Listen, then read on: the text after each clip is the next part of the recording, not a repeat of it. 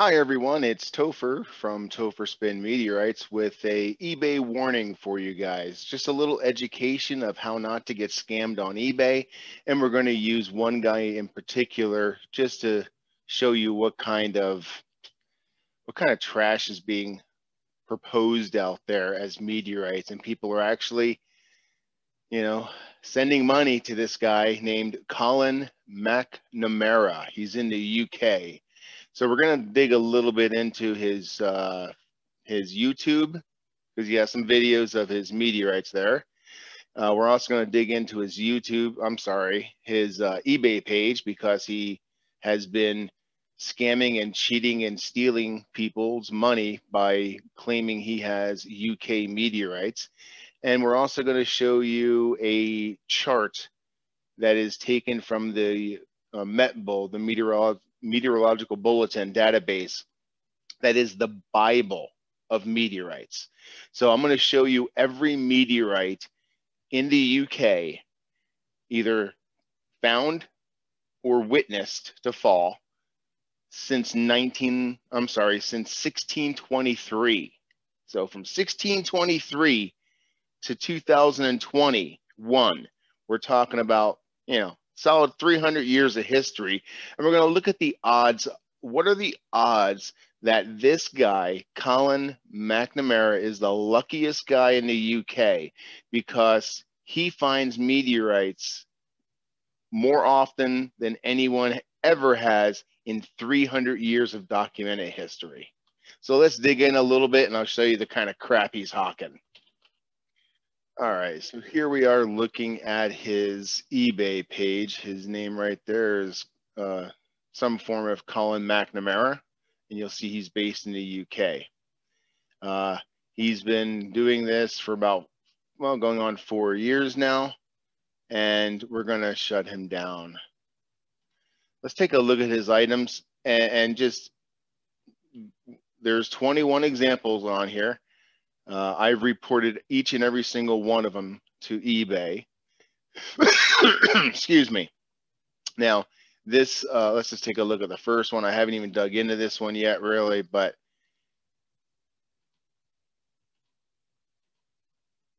I, I love the stacking of magnets. It just shows you have no idea what you're doing. Um, this is an uh, an iron. Again, that was found in the UK. This is another one found in the UK. Uh, I have never seen an iron that looks like that. It looks like a devil's tower and a bullet mixed together. Uh, it's definitely not a meteorite. Definitely not. Um, here is um, Blue Moon. So he's claiming this is lunar and he found it in Scotland. I don't know what. I mean, you got to be on some serious medication if you think this is a piece of the moon absolutely astonishing. Um, again, who in their right mind is going to, unless you have a bunch of real meteorites and you're well established, who's going to put a piece of, of moon up there, 58 grams of the moon for like 10 bucks? Uh, and if you look down here over here, um, all the meteors I found by myself. I travel in the North Country looking. I find more. Yeah, he finds a lot, which is really, really, really odd. Uh, let's keep on going. Look at this is a now he's claiming a mesosiderite found in Scotland. Um, you know, the pictures are, are really pathetic, and I can't tell. But I'm gonna go based on just him that it's fake. Um, this is a 30 gram with gold and glass impact melt. Uh, they just try to throw everything they possibly can in there to get your attention. Uh, the, these pictures are horrible, absolutely shitty quality pictures. I mean, ridiculous. Uh, now this is a uh, another meteorite found in, in the UK. Here's 230 or 240 grams. Oh my God Look at these. He tumbles them so he can claim, oh, they don't look like meteorites on the outside because they're tumbled. But like this is garbage. Absolute terrestrial, 100%, no question in my mind. And yes, I am a meteorite specialist there, Colin. You and your 10 subscribers on YouTube, you're kicking ass, buddy. Uh, here's another one that's tumbled. You can see the striations in it. That's sedimentary beyond belief. Um, so you can honestly see the type of crap this guy. Oh yeah, it's got to have diamonds in it. You, you, never, you never can sell, you never can sell fake meteorites unless you claim they have diamonds in them. So this is another uh, one from Scotland that he found. The pictures are so pathetically poor, um, but the stacking of the magnets is just an really amateur. Oh my God, amateur hour. Um, it's just a bunch. Now, this is impact glass, supposedly that he found uh, in in the UK.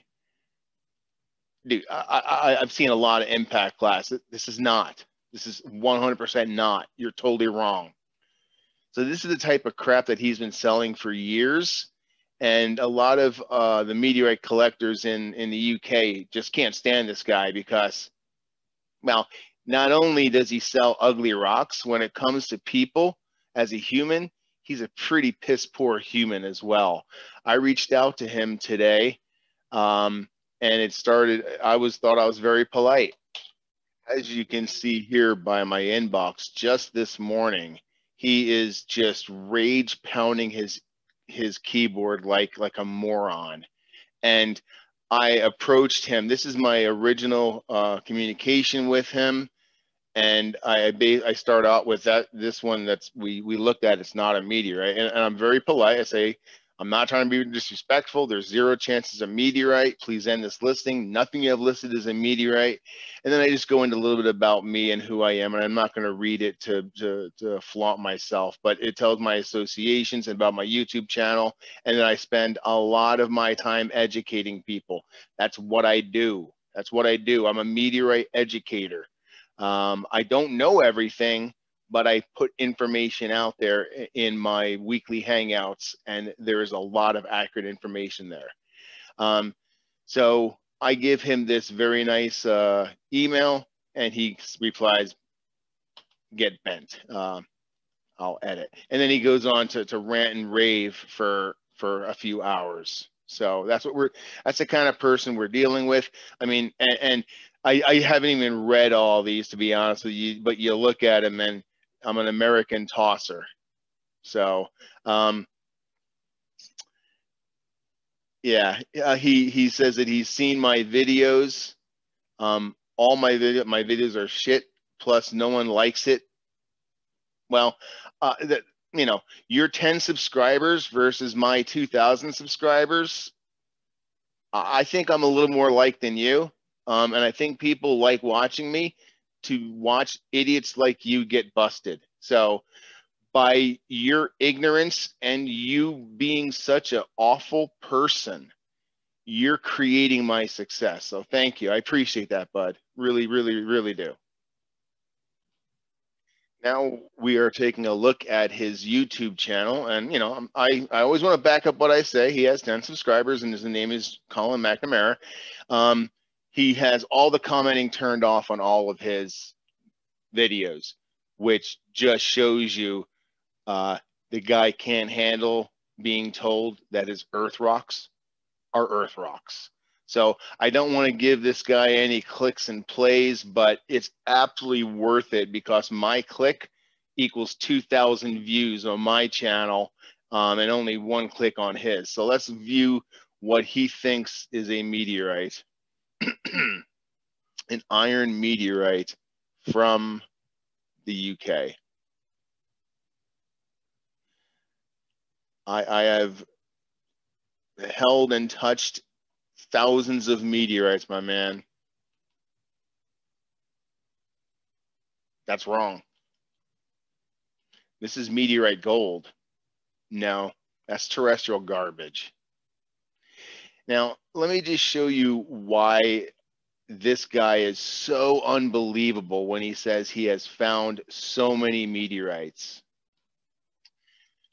All right, we're looking at real data right now. This is a list of the 22 meteorites that have been documented as real meteorites from the UK since, as you can see, 1628 right there and 1623 right there. So this goes back hundreds of years. This is pulled directly from the Meteoritical Bulletin, the Met Bull.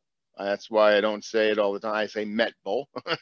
um, so I'm going to show you why it's, as you can see right there, everything is hyperlinked right to the Meteoritical Bulletin database. So let me show you why it is impossible to believe that this guy has found these many meteorites. This is a complete list of all the UK meteorites. I have basically ruled out all of these for various reasons. If you look at the weight on these, these are all about a kilogram or 13 grams, 30 grams, two grams. You're not, he has none of these historic from the 1800s witnessed falls that only have a kilo of mass. It just, he doesn't, trust me. Uh, here's one, okay, 1969. Okay, five kilos, potential. There's only three stones. I guarantee you this monkey doesn't have one of them. So we can rule out all of these official meteorites. And let's go to the meteorites that I can't rule out that he has.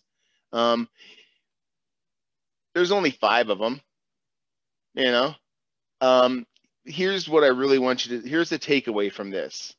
If you look at column C, very unique about the UK. The UK is a very, very bad and inhospitable climate for meteorites, unlike the Sahara Desert. It's the exact opposite in the UK.